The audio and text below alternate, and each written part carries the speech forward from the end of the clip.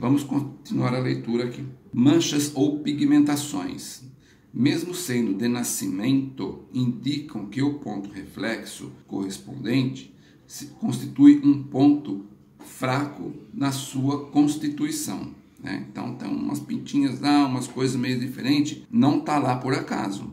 Né? Isso indica que ali tem alguma coisa que precisa ser reajustada, tá bem? Edemas nos tornozelos, próximos ao tendão calcâneo ou no dorso do pé. Isso quer dizer aqui uma sobrecarga cardíaca com o envolvimento dos rins, glândulas de secreção internas e linfáticas, ok? Vou ler para vocês de novo. Edemas nos tornozelos, próximos ao tendão calcâneo ou no dorso do pé.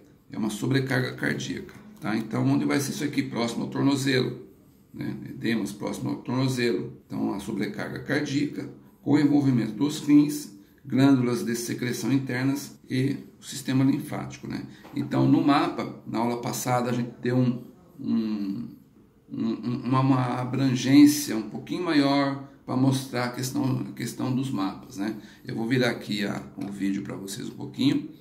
Então, na aula anterior nós falamos um pouquinho do mapa, tá vendo o mapa aqui atrás de mim? Tá?